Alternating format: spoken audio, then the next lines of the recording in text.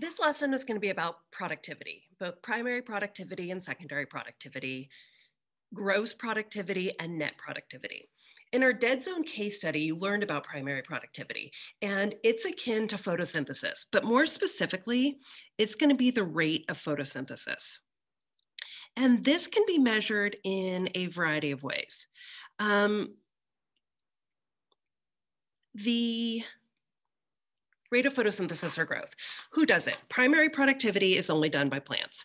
Secondary productivity um, is for consumers. So this is, I guess, also we'd include algae in there and anything else that um, is an autotroph. Why will it vary? Think about what things affect photosynthesis. If we have changes in light, if we have changes in temperature, we can change the rate of, of photosynthesis.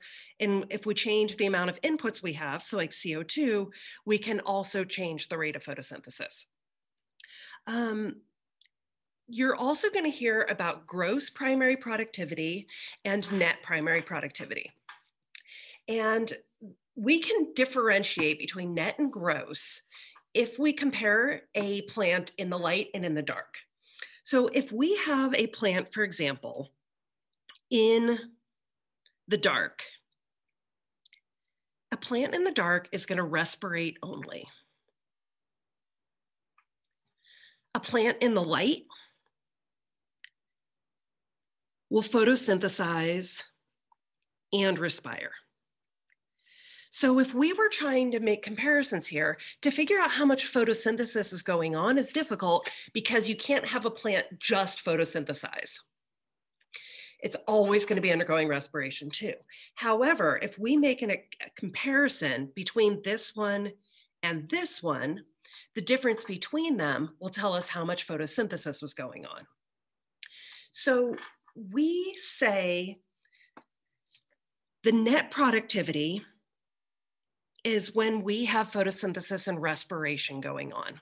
So when something is in the light, that will give us the net pr primary productivity. For respiration only, that's going to be the one that's in the dark.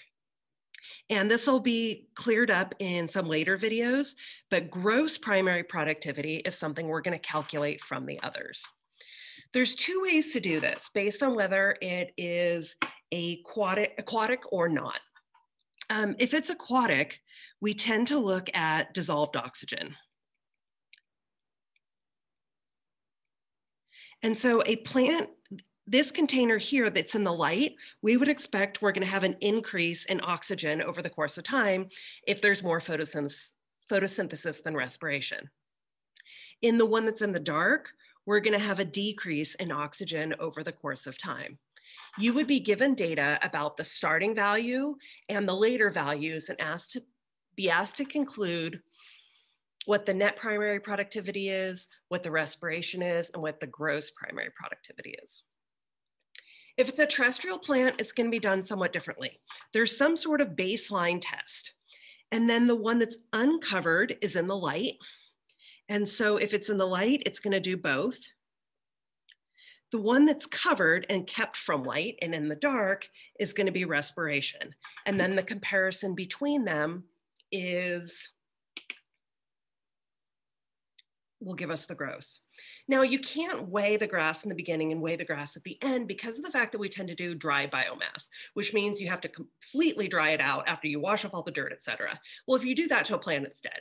So what they generally do is take three equal patches, assume they're all the same to start, use one of them to get the dry starting mass, test the other two over the course of time, then dry them out and weigh them. So um, the one that's used in the very beginning is used as the baseline, and then we'll have two others that are compared to it.